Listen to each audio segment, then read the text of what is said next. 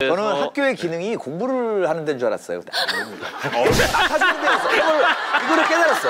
애들은 아침이 되면 학교 가고 저녁 가까이 와야 돼. 부모를 자유롭게 해주는 그러니까 그래서 학교는 복지더라고요. 네. 어른들의 복지인 거야? 어, 어. 어른들을 위한.